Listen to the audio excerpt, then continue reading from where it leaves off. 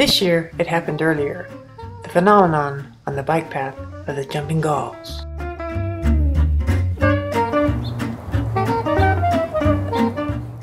People compare them to Mexican jumping beans, but they are much, much smaller than the jumping bean. The speculation is they jump in order to lodge themselves more deeply into the leaf litter. A few unfortunate ones land on the asphalt of the green belt or bike path, which is bad for them because they're more likely to die of desiccation or predation there. But it's good for me because then I get to watch them. As is true with other oak galls, they originate from the egg-laying activity of a cynipid wasp. The jumping gall is just one of several galls that result from insect larvae. You can learn about galls from nearly any book on oak trees. Here are the golf ball sized or larger galls with which we are more familiar. Here you can see how tiny the jumping gall is compared to the larger gall.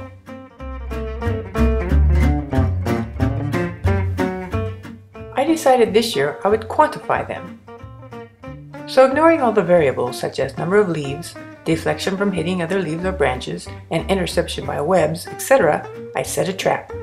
My trap covered an area of approximately 15 square inches.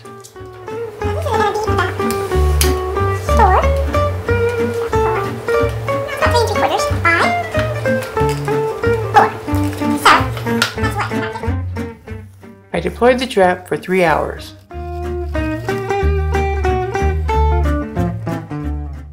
I had a capture rate of near zero. Actually, I caught one. You can see it in the lower left corner here.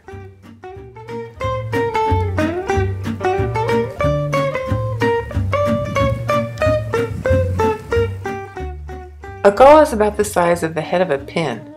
Here I'm going to use a Skittle candy to represent a gall, even though it is much, much larger than the gall. One gall in 3 hours.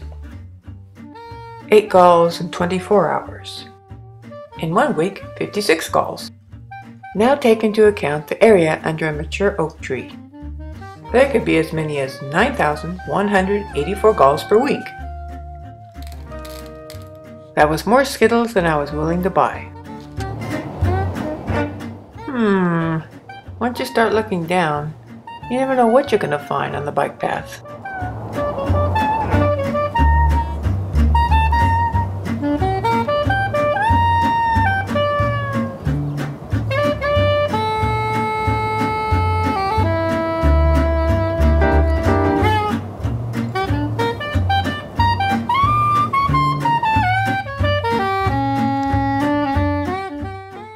Uh-oh. These poor buggers are caught in the spider web.